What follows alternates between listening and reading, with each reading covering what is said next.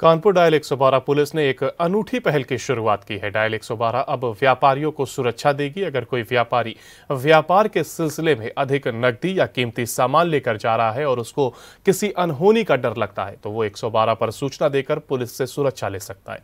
वहीं सूचना पर व्यापारी के पास पहुँची पुलिस उस व्यापारी को उसके गंतव्य तक सुरक्षित पहुंचाएगी। आपको बता दें कि कानपुर में पुलिस कमिश्नरेट लागू होने के बाद महिला सुरक्षा यातायात पर अधिक ध्यान रखा जा रहा था। लेकिन अब व्यापारियों के साथ लूट जैसी घटना न हो, इसके लिए कानपुर पुलिस कमिश्नर ने नई पहल की शुरुआत की है।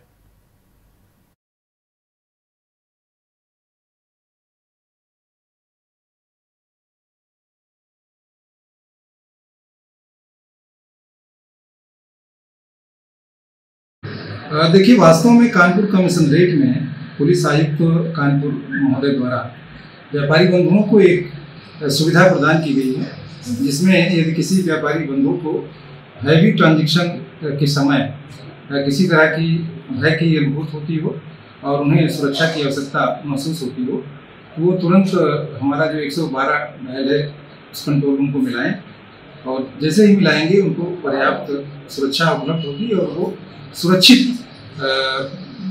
तरीके से अपने गैस को गंतव्य स्थान पर ले जा सकेंगे। ये कानपुर का कमिश्नरेट की एक अच्छी पहल है, जो हमारे कमिश्नर महोदय द्वारा प्रदान की गई है। पुलिस कमिश्नर साहब के द्वारा की जा रही पहल बड़ी सराहनीय है। पहले हम व्यापारियों का काफ़ी उत्पीड़न होता था कि रास्ते में लोग टप्पेबाजी कर लेते थे। कई प्रकार की ऐसी दुर्लभ घटनाएँ हुआ करती थी।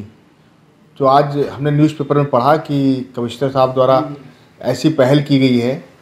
ये पहल बड़ी सराहनीय है और इससे व्यापारियों को बहुत लाभ मिलेगा।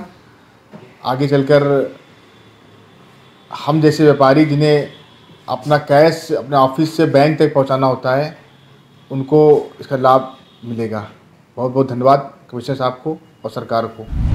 अगर आपको हमारा वीडियो पसंद आया हो तो हमें लाइक करें सब्सक्राइब करें और ज़्यादा से ज़्यादा शेयर करें। और हाँ बेल आइकॉन दबाना ना भूलें, ताकि हर खबर का अपडेट आप तक पहुँचे तुरंत।